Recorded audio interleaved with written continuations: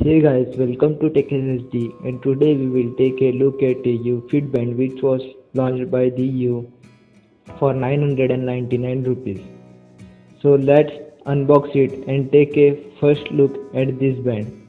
So let's get started.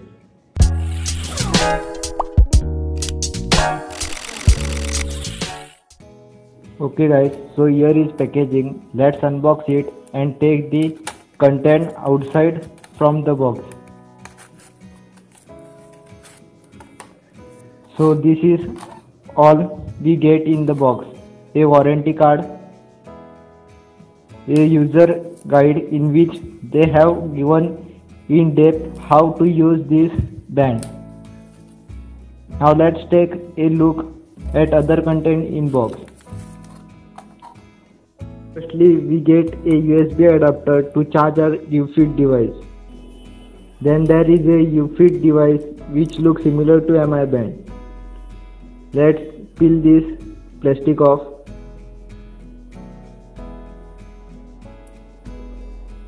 And on the back of this device there is the Yu branding.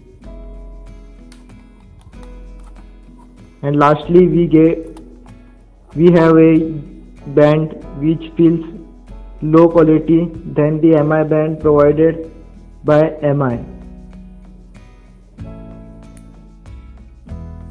We need YuFit and LDFI app to start up. I have downloaded both of them. So if you all can see that there is a button on YuFit band. Pressing it will on this device. And the time is wrong as I have not connected it. But pressing and holding it for 5 seconds will get it into the pairing mode and there will display a pin code. How to pair the device, go in YuFit and then go to add device. Then hit search for device. It will show you the device. Now click on it, match the code on YuFit device and press OK and the device will be connected.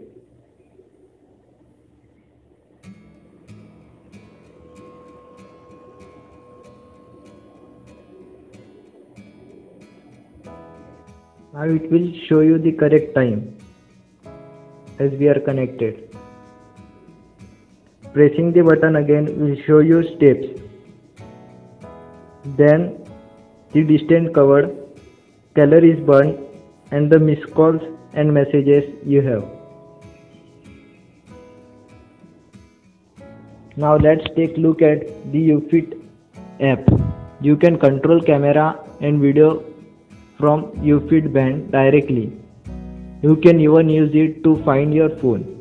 You can send alarms and task alerts. Then there is move alert which will notify you to move after some time. Then there is incoming SMS alert, find device, reset device, device settings in which you can remove and rename device and there is tutorial to help you so that's it for this video if you like this video then do give a thumbs up for this video and do subscribe for more video as I will be coming up with full review of YuFit.